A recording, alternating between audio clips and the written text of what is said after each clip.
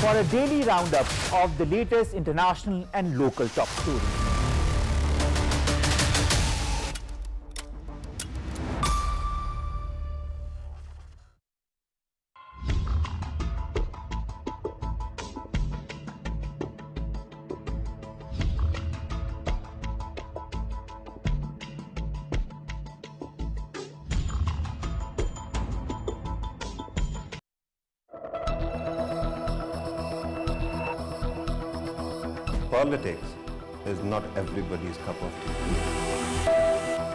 Pakistan, politics has endless possibilities. Politics is the art of the possible.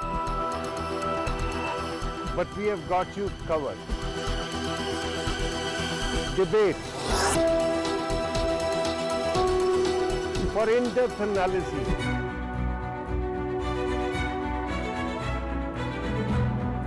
and insight.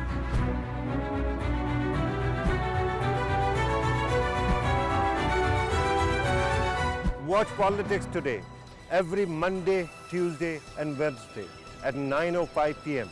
with me, Farooq Pratap.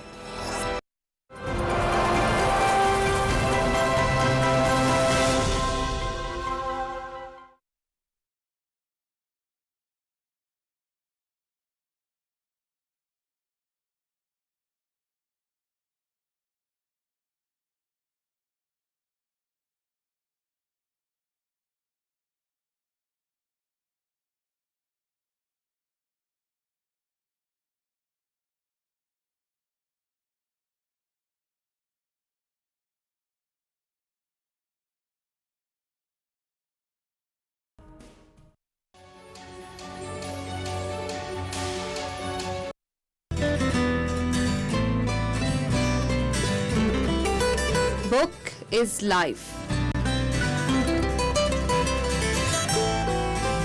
Book is hope.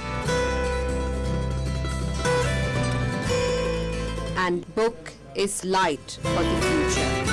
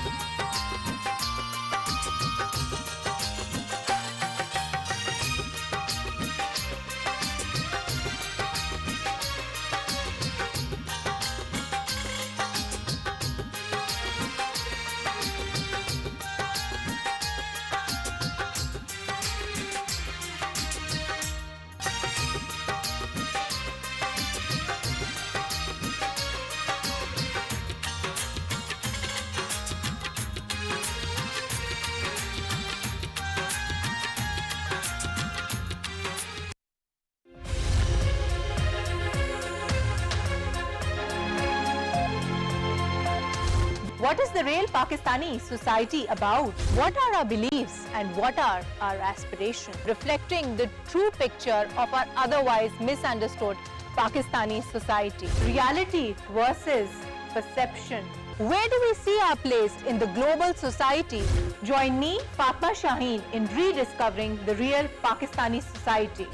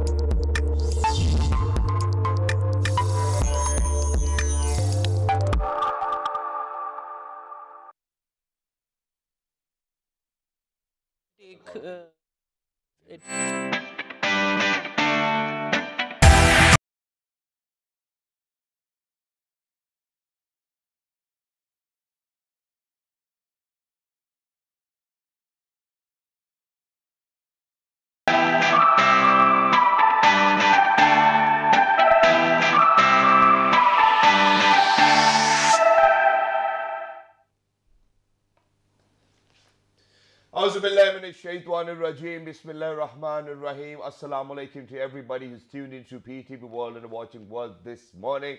Alongside my very fantastic, amazing, superb, intelligent, and the very warm Miss Shiza and I happen to be Shazad Hassan Khan.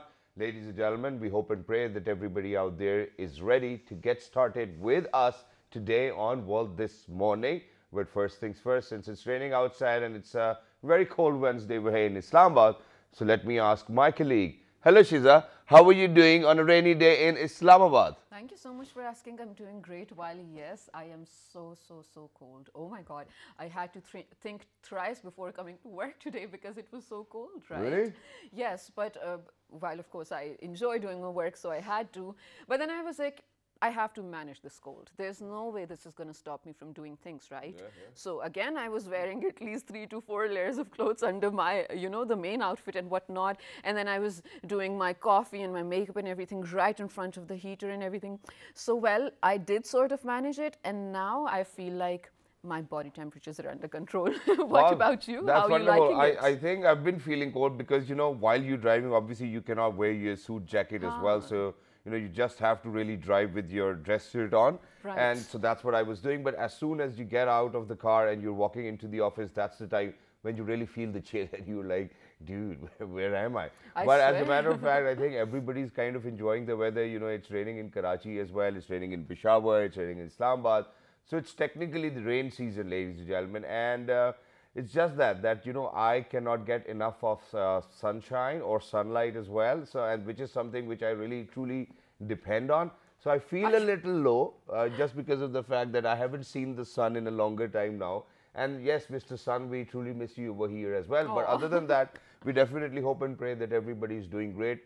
Because, ladies and gentlemen, today on the 5th of January 2021, it's a very important day. 22 to correct you. Yes, 2022, yes. And that's the uh, correction which I think everybody kind of... Even me. Everybody kind of needs as well because usually when I used to go to school, I used to write the previous year. You know, on, on your uh, copy, you actually used to write the date and then, oh, ma'am, sorry, you know, we made a mistake. so, ladies and gentlemen, 5th of January 2022 or may it be 2021 or any other year as well, it is hmm. as important as it will be the previous year or this year as well, till the time that we find a resolve for our Kashmiri brethren.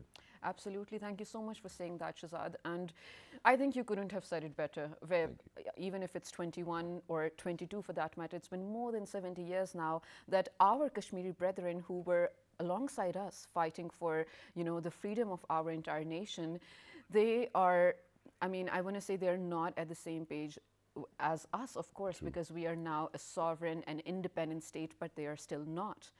Uh, in that particular geographical region where now our Kashmiri brethren exist, it is it is called an illegally Indian occupied Kashmir. That is because of well, for more than 70 years, we have been seeing the kind of atrocities going on over there, illegal occupation. Imagine, you know, forces just landing into a geographical zone and just occupying a land, occupying the people, resources and everything for so many decades, and it's still going on. But it's not that it went un, it's not that it went unseen or ignored, Shazad. It was probably just one or two years into the independence itself in 49 when actually the United Nations, the then newborn international organization, actually said or rather declared or passed a resolution that a plebiscite is going to be held in True. Kashmir, where all the people residing over there at that time are going to be the ones voting for to choose either if they want to be a part of the then India or the Pakistan or to be an autonomous Kashmir itself. Now, with such a promise back in 1949, we, we don't see the realization. It's 2022 and it's just absolutely so unfortunate, so sad. Our heart goes out to all our Kashmiri brethren, always politically, diplomatically, emotionally, we are with you. Uh, before we move on, Shazad, I think we should share a small informative report with all of you out there. I think before, Shazad, we actually do that, we really need to kind of uh, give um, some kind of awareness to all of those people who tuned in as well, because we go out in 46 yes. different countries we are pretty sure that you know within this region, you know South Asian region, pretty much everybody knows about how vulturistic India has been and how you know their human rights have been kind of violated every single day as well. But today, ladies and gentlemen, it actually happens to be, and we are observing it as well. Happens to be Yom Hak Khud Iradiyat or probably right to self-determination Yes. as well, where the Kashmiri people actually make sure that they're going to protest in front of the United Nations as well and kind of talk about that plebiscite, that how you know they have still been violating uh, uh, violated by India as well, and then for all of the articles which have been taken away from within the constitution, maybe maybe 370. But other than that, I think one more thing which we really need to add over here is that a lot of international organizations who kind of voice that they are going to come down to a solution or bring a solution for hmm. the Indian illegally occupied Jammu and Kashmir as well, but it has not happened so far. So before we kind of share the video, I think it's really important to build a narrative where we share with the people how much important this day is, 5th of January 2022, and what is the way forward. And to kind of do so, hmm. we're very lucky, ladies and gentlemen, that we've actually been joined by somebody who happens to be the international media coordinator of Chairman APHC. He is Mr. Baba Mukhtar. Hello, sir. Assalamu alaikum. Good morning. Walaikum assalam. Very good morning. Thank you Uh, very much, sir, for joining us. thank you for having me here. Thank you very much, Thanks. sir, for joining us. Wonderful to have you. And I believe that you're the most apt guest today to kind of speak about the right to self determination as well. And alongside Baba Mukhtar, ladies and gentlemen, we're very lucky that we've actually been joined by the chairperson, United Jammu Kashmir Coalition. And she happens to be a human rights activist, a very amazing speaker. I think that whenever she kind of speaks, she always makes sense, backed by logic. And this is something which I think international media likes the most as well. So, you know, to make more sense, ladies and gentlemen, without any further ado, I'm going to introduce her. She happens to be Miss Sundas Malik. Hello, Assalamu alaikum, good morning, how are you? Ji, Assalamu alaikum. Thank you for having us on such an important day. Thank you very much Uh, for joining. And uh, it's always a pleasure to be here. Thank you very much. Wonderful. So, you know, I think first things first, what we really need to do is that we really need to go back in time where, you know, where Shiza actually spoke about 1949, how the plebiscite needed to happen and then it did happen, but it really didn't come out of uh, a lot of value for the people living in Indian illegally occupied Jammu and Kashmir as well. So, Baba Mukhtar, I would want you to kind of speak about, you know, the historical facts of the plebiscite and then we'll come down to what's happening in 2022. Thank you very much. Um, firstly, I want to correct uh, what your co-host said that uh, in the plebiscite uh, there are three uh, what it called either you have to go with India, Pakistan, or some sort of uh, what it called uh, autonomous. It's not that. Okay. So the uh, 5th January 1949 resolution says that you have to choose it is it and, and the very important thing is that it's not right of self-determination it's right of plebiscite so united nations resolution says that there should be a democratic method to choose between india and pakistan through an impartial and fair plebiscite Yeah. so that means that either you have to choose because the, the Kashmir issue is the what it called the leftover of the partition. So we have we have to decide whether we have to go with Pakistan or we have to go with uh, uh, India. So that we, we have to uh, the right to vote in favor of only there are only two options in the 5th January 1949 resolution and subsequent resolutions. They too uh, and the very important thing is there is in any resolution I believe it is 18 resolutions have been passed uh, on the different occasions but uh, there is no what it uh, what uh, uh, she said that autonomous uh, yeah. so it's not at, uh, something like that. It's just between india and pakistan. So that uh, in uh, 5th january for, uh, uh, 1949 that uh, they, they, they made a com- commission with United States of America, Belgium, Argentina, Czechoslovakia. They were the members of what it called that commission, which is called India Pakistan Commission for India and Pakistan.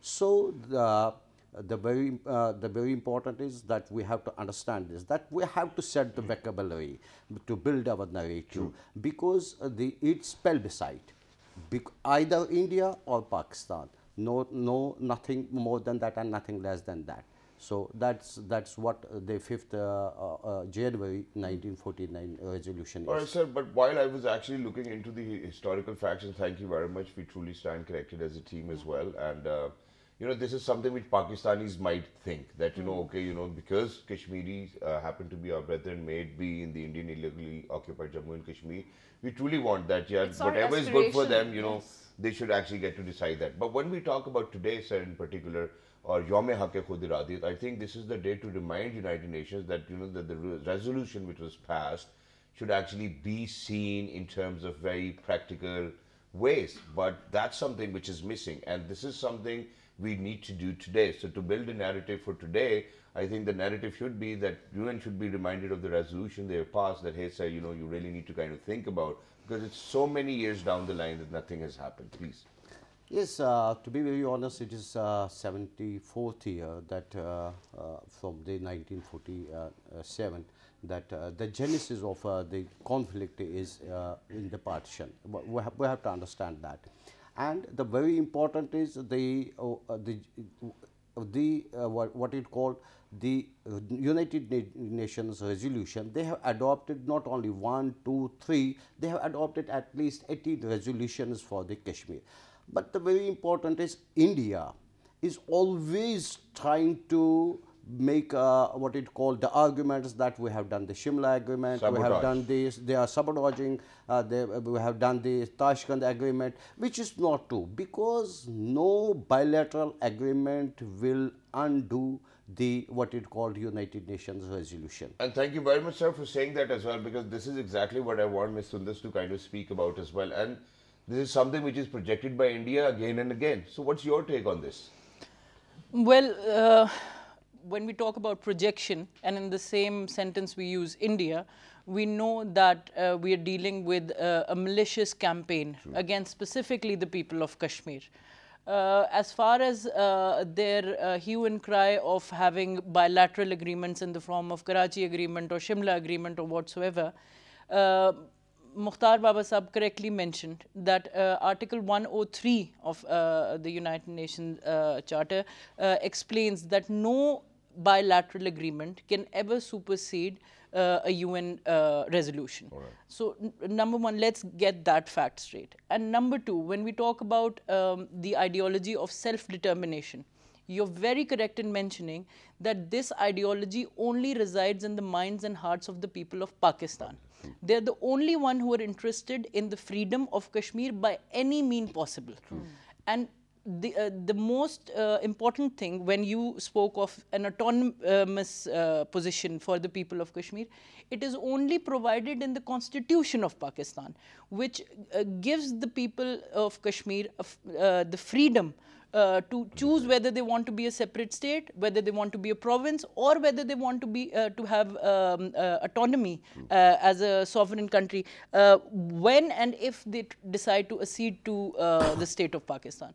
So I think it is very important to get that narrative right for the people who believe that uh, self-determination is a right. Uh, it is also important to understand that that that right can only be provided to them by a country which best uh, safeguards their interest, uh, i.e., Pakistan. And, and and- thank you very much for saying that because, in addition to that, I'm very sorry that I might be putting you in a hard position as of now with the, the question which I'm about to ask. But as a matter of fact, we have seen this over the years that, you know, may it be United Nations, may be any other organization, may be human rights activists or human rights activist uh, organization as well, working for the people of Indian illegally occupied Kashmir as well. The question is, why do you think that we have failed for so long in making sure that you know that their right to self-determination gets to them, or they get their right, which is underlined in the constitution? While definitely, Sundas, I want you to talk about this in detail, I think I want you to hold that thought because right now I ha- we have the report that we want to share with you. Let's look at the numbers and the stats of what's going on over there, and when we come back, we'll definitely continue our discussion.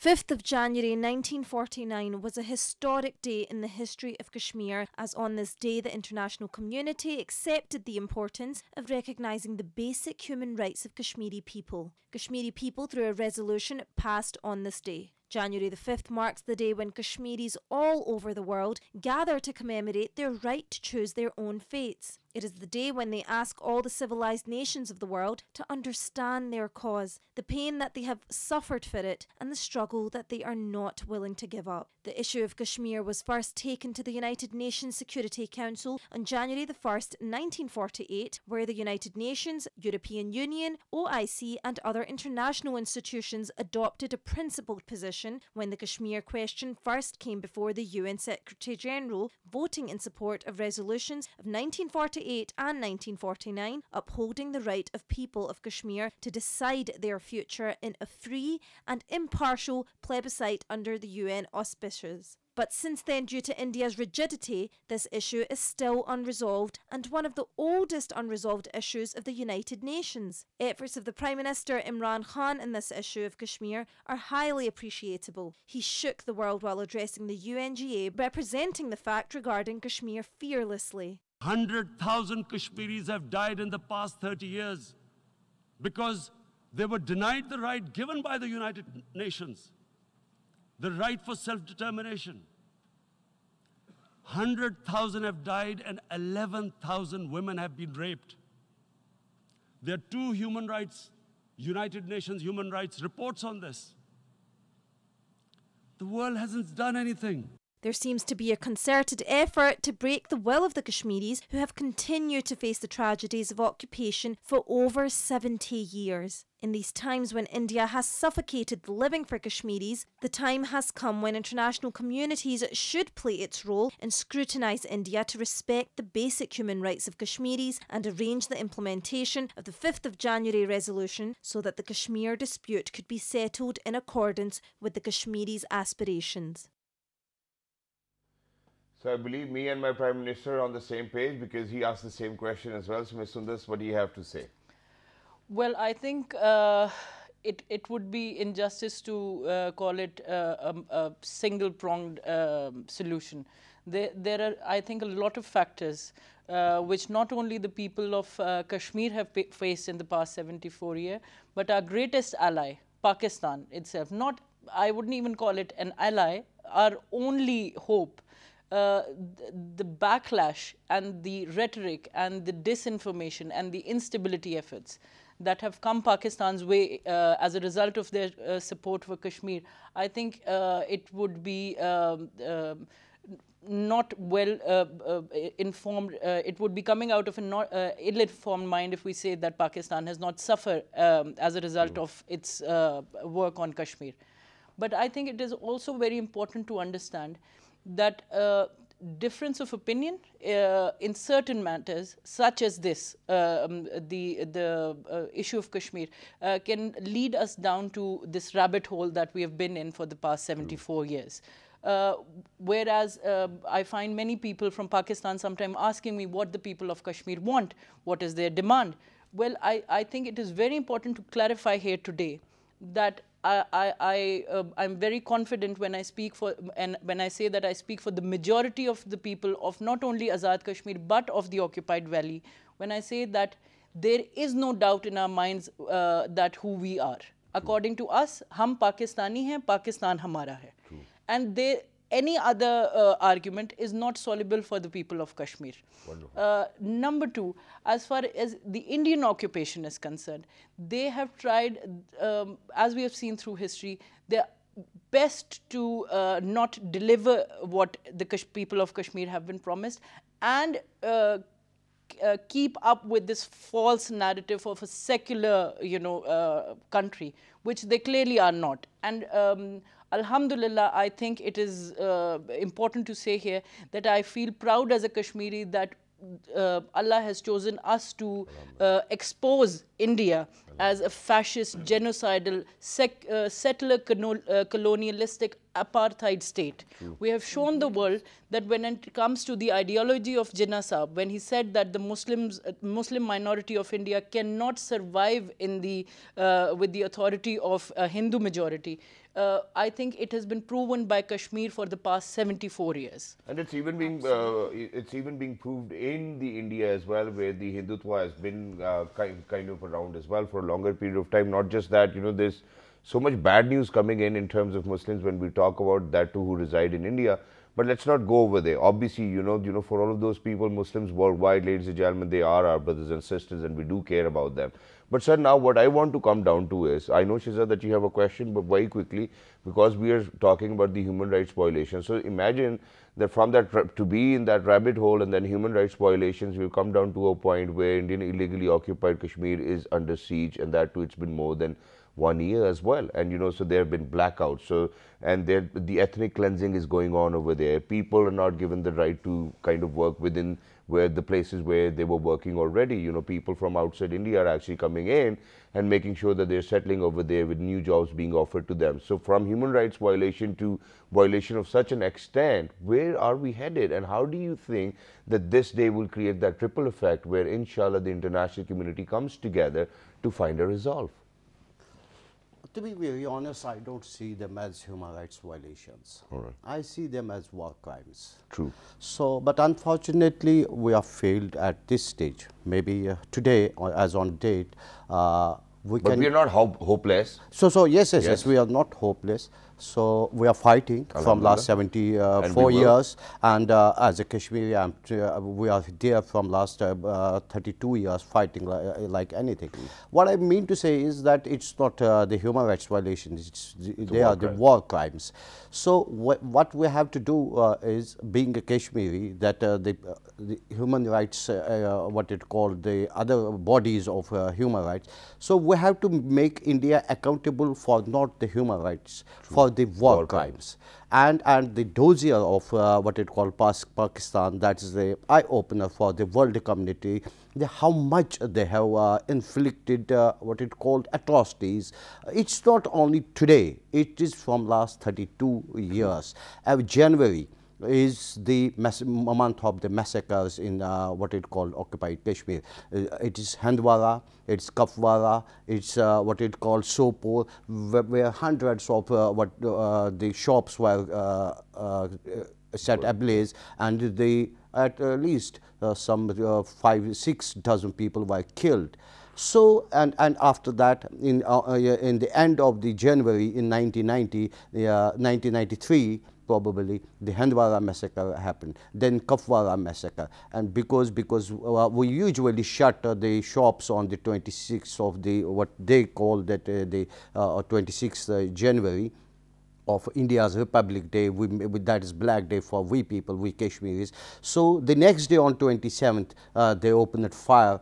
Everybody who uh, uh, opened his shop and they fired indiscriminately and killed 18 people uh, in the cold-blooded. Uh, so the very important is that we have to make it that we have to come together as a, a Pakistan, the Kashmiris, and we have to tell uh, because what I believe that uh, it's unto the, the stories of Kashmir are untold. We have to tell the, our stories through the media, through the different channels that uh, what had happened in the last 32 years, that how thousands, uh, hundred thousands people are, have been killed. There is rape is a weapon of for the Indian uh, occupation. So and and the very important is that we are we have to tell the world that it is that one million boots are on the ground and it is the military occupation. It's not a simple occupation. It's a military occupation, and you will not find whether you will find you you, you see the occup- the Afghanistan, the Syria. You you never find that one million boots on the ground.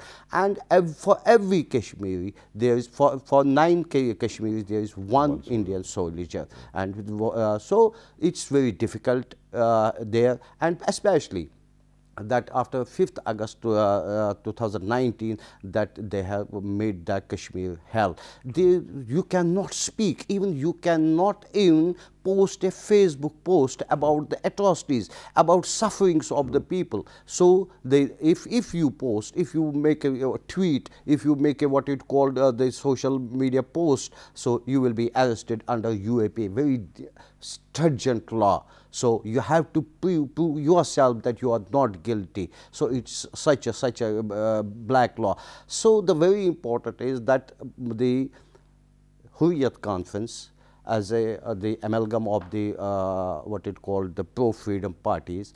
So they are trying their best to raise the voice of the oppressed people of Kashmir.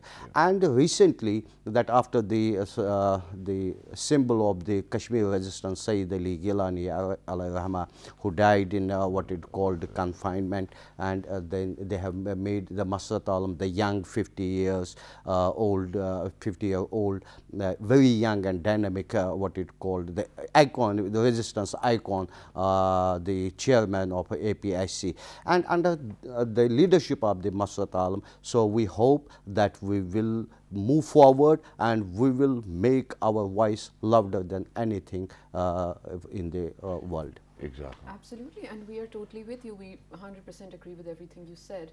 But you know, where we talk about atrocities, of course, everyone sort of realizes that, and it's also because of the internet and the non-traditional media lately that the reality of India, like you mentioned, Sundas, is definitely coming in front of everyone. True. But sir, where you mentioned about war crimes, there's no, we don't like throwing terms out, but it is for sure. If you go Google it or if you read about it, it is a war crime. It is. It is also ethnic cleansing, targeted genocide as well.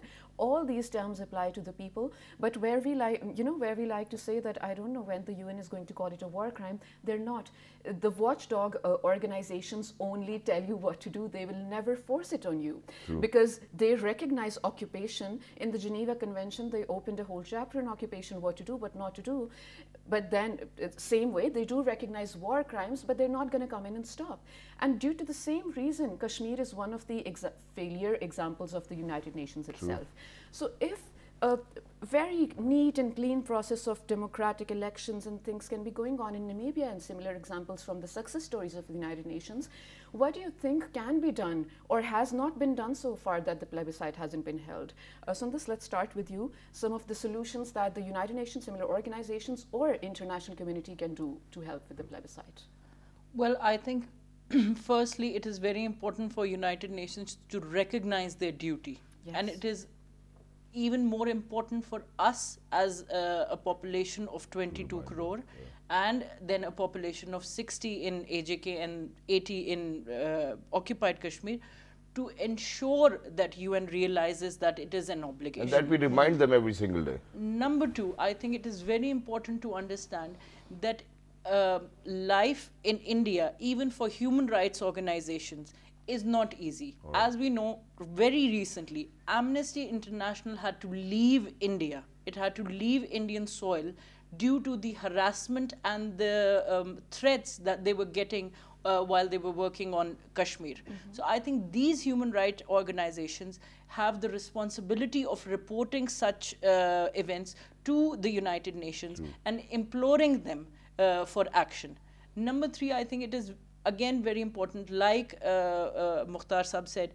Um, Shah Mahmood Qureshi Saab mentioned very rightly, uh, people took it in the wrong manner also, but I think it is very important to understand that Article 370 is not as important as 35A. 35A, Because absolutely. 35A is the article which uh, provides uh, th- uh, the Indian government with the mechanism of demographic change. We know that more than five more than five million domiciles have been issued to non-Kashmiris, and they're working towards, uh, like you said, how can the plebiscite come? They're bracing themselves for Exactly. it. They're they know for a fact that this occupation cannot last. You know, occupation through intimidation is something 74 years for Kashmiris is It's still at this point immunized us to a, occupation. We do not think that sitting at home will achieve anything.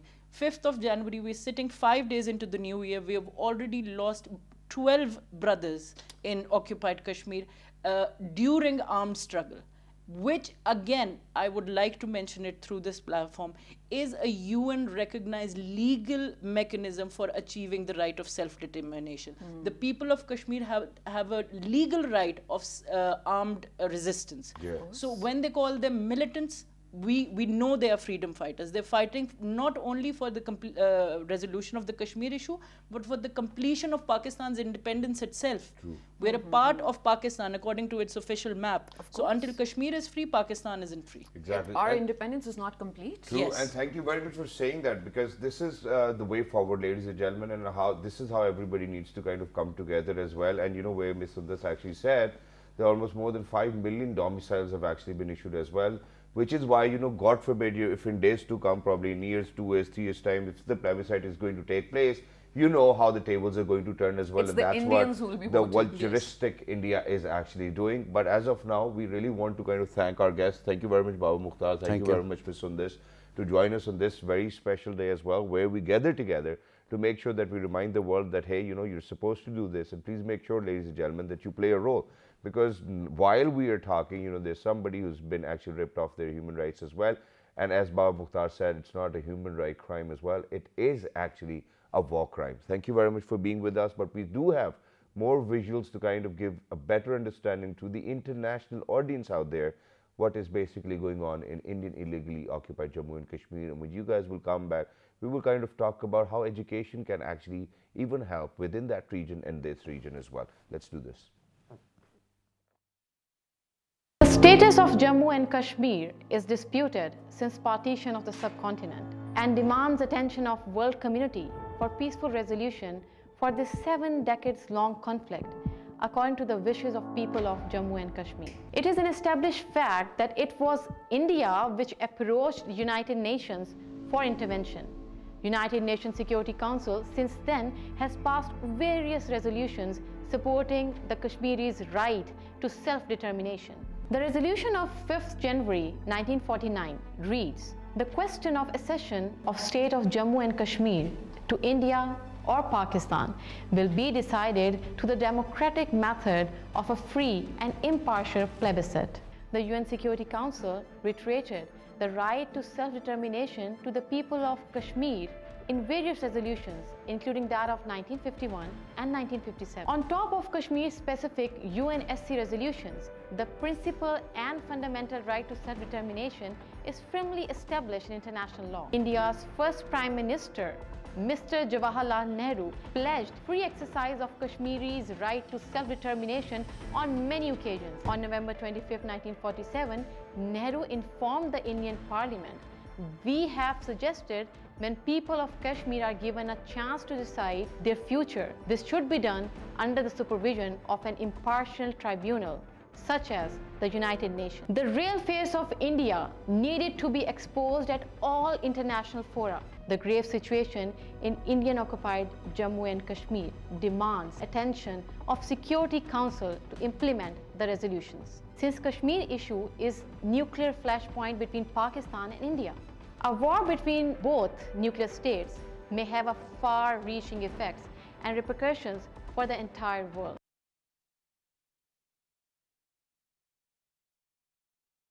fact that it was India which approached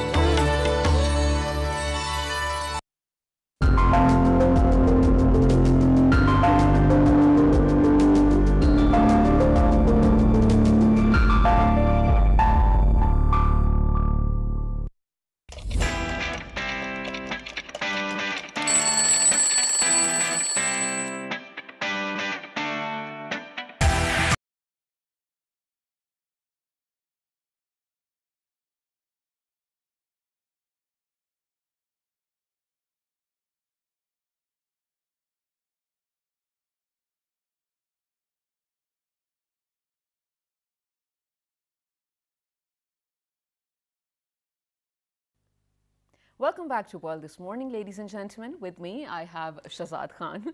I am Shiza Hashmi, and today, while definitely it is an absolutely important day for uh, not just Pakistanis, but uh, for our Kashmiri brethren as well. Today happens to be the day for, uh, you know, right, right to self-determination for Kashmiris. Uh, yeah, absolutely. And they've been uh, observing this day. We have been observing this day with them for more than 70 years now. And I, I think at this moment, we really hope and pray, inshallah, inshallah, uh, justice is served, definitely. And they do get to exercise their right to self-determination. And but I would like, like to kind of remind the narrative once again as well, because Ms. Sundas Malik actually kind of made a lot of sense that it is the process of Pakistan's independence which is still incomplete. And inshallah ladies and gentlemen will make sure uh, with a lot of prayers to Allah Almighty and everybody coming together as well for all of those people within the Indian illegally occupied Jammu and Kashmir as well that inshallah this process will be completed and every single day whenever we get the opportunity we'll be right here to voice our concerns about it. Of, of course, without a doubt.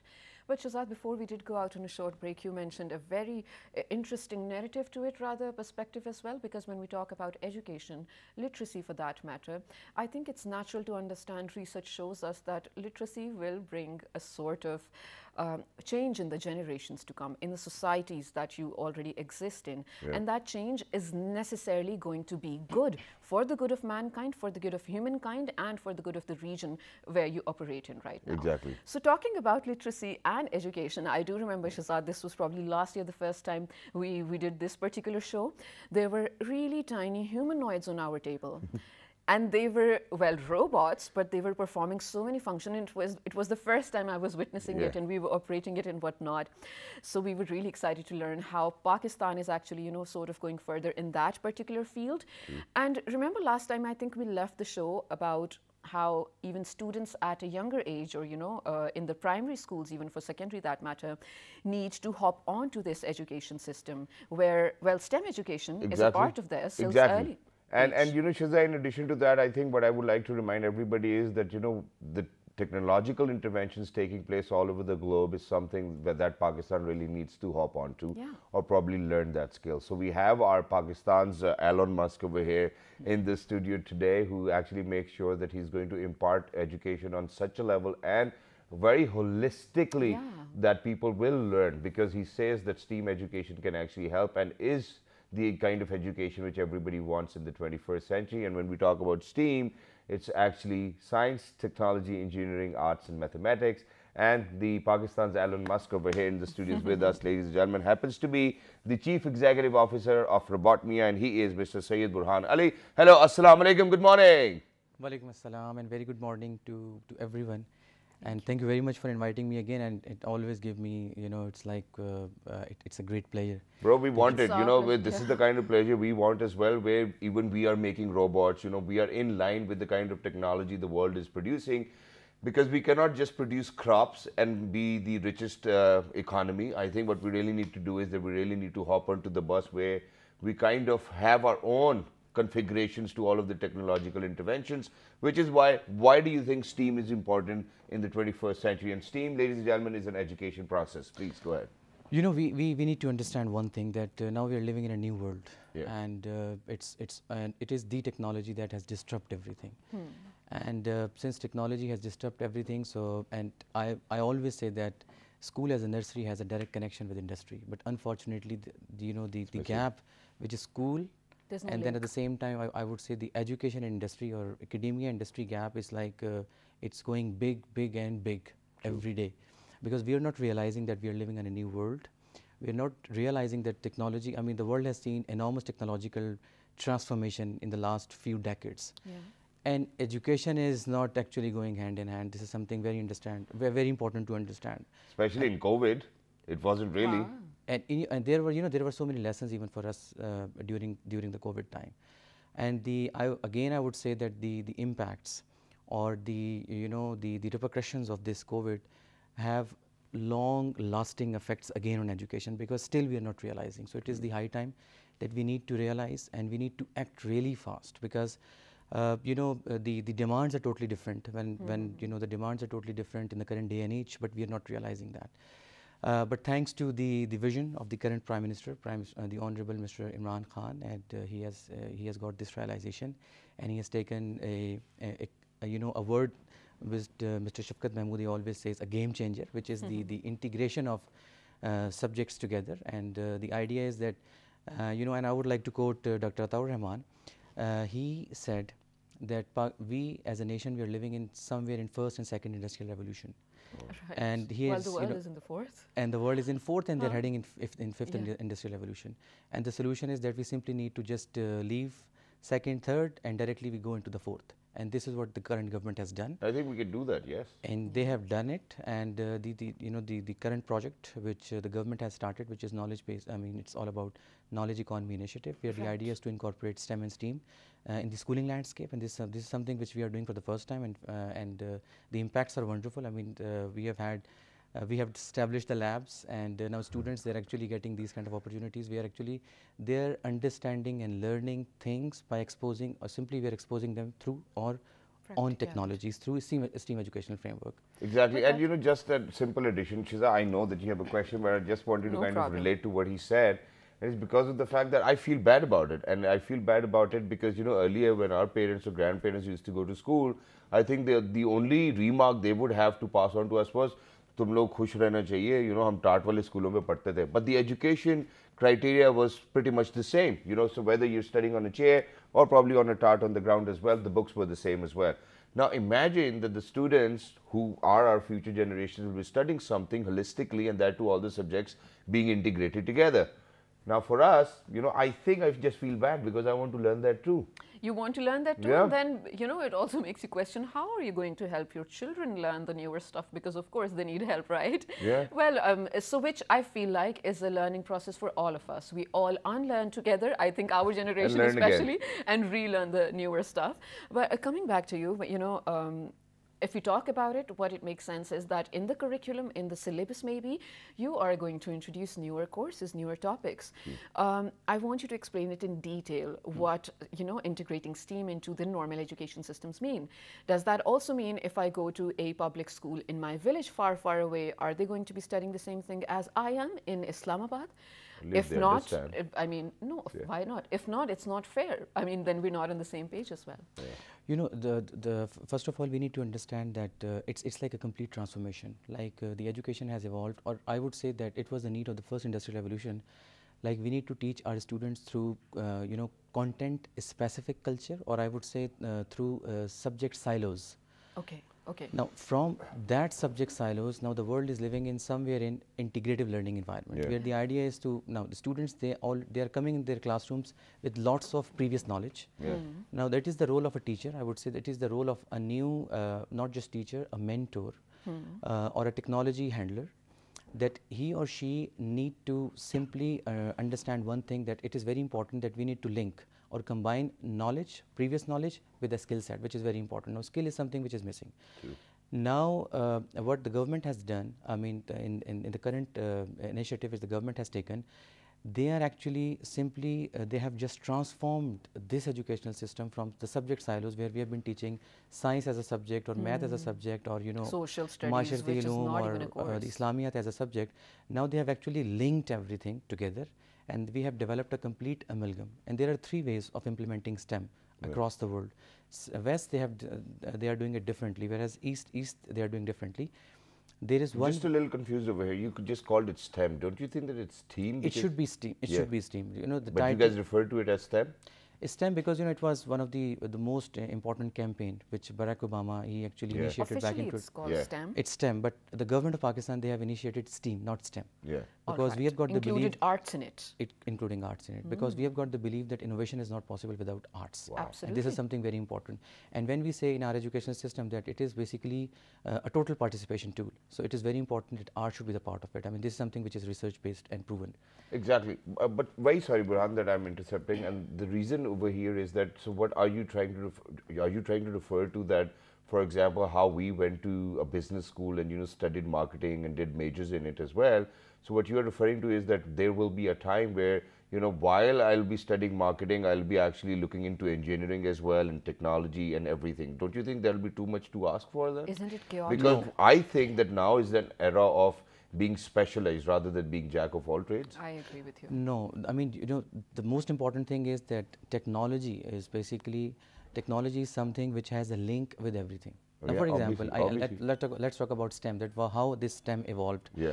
Now, we are living in 21st century and we are preparing the students for 22nd century. Yeah. And uh, I just want to quote one thing that Do you think that's too far-fledged, you know? I No, don't know this is whether we're something, you going know, to this is survive something- for another century or not. No, Yeah. this is something which we need to realize. Okay. 85% of the jobs which will exist after 2030 have not been invented yet. And this is the question. Obviously, Now, for what we are actually producing these students. Now, we are living in 21st century and for, for, for understanding, uh, let's say science, we need the help of technology. Now, to understand technological developments or let's say technological innovations or inventions in the classroom environment, so we can actually link it with, with of course, with the environment we live in, we have to have capstone projects which is totally engineering. So that means engineering should be the part and parcel of the classroom. True. Hmm. And then to doing all this, you have to have the understanding of logic. All right. So you need math plus coding programming skills. So that means in everything, whatever you, wherever you go, mm-hmm. technology is something which needs to go hand in hand, and we need to understand. that. Absolutely. That's wonderful. Very sorry, but you know, so just so you know that audiences out there actually have a very clear mindset. So, are you referring to that? For example, if I went into an MBBS school, you know, or a medical school, so people can come to me, maybe anything they, they feel is wrong with their kidney or heart or brain. Or probably with their teeth. So I'll be the dentist, I'll be the urologist, and I'll be the um, you know oncologist as well. Is that what you're referring to? Of course, yes. I mean, the population is increasing. Let everybody do one job at a time. Yeah, No, I think so that know, they can actually do their job. You know, we now we need to produce uh, learners, Yeah. and we need to produce people with uh, who has got the expertise in non-routine jobs, not in routine jobs. All right. Now, s- robots and AI, it's they are going to displace almost 70, 75 to up to 85, uh, 85 million jobs in the next 10 years. But at the same time, these new technologies, the emerging technologies, are going to produce 133 million new jobs, which is the net positive thing. But you're not talking about the how many jobs they're going to take away as well. You know, I think is. we need to 75, I mean, se- as well. 75 million or 85 million. Yeah. That means the routine jobs will be eliminated. Now, we don't need to produce people who, who has the ability of doing repetitive tasks. Rather, we need to produce people who are good problem solvers. Like the, the idea is that it is the high time that we have, we need to develop a totally a different skill set. For example, agility is something we were talking about uh, uh, Kashmir. Yeah. You know, the point is in this, especially in this part of the world, we need to teach agil- agility. Mm-hmm. We need to teach flexibility. We need to teach communication. We need to teach leadership. We need to teach, I mean, innovation, entrepreneurship, technological transformation, because we want to produce thought leaders. We want to produce technological entre- tech- technology entrepreneurs. So for producing them, it is very important that we need to change the classroom environment. So we produce something different in the future. Absolutely, you're right, and thank you so much for saying that, and thank you so much for being a part of our show again. Thank uh, you. I totally agree with you. Where coding and you know mathematics, the basics of it should be a part of um, all the education system. Especially, we should learn from our neighbors as well. They have already inculcated this system, and starting from sixth grade, it is compulsory for all students there to study coding. Well, I hope one day I get to learn it as well. But ladies and gentlemen, this is definitely the way forward. While the entire world is uh, heading into the fifth um, industrial revolution, I really hope and pray that we hop onto it uh, at the same time too. Inshallah. Um, till the next time, take care, please. We'll see you tomorrow at the same time, inshallah. And the repeat you can catch at 5 past midnight. Till the next time, look after yourselves. One, two, three. Good, Good morning. morning. Very short in time.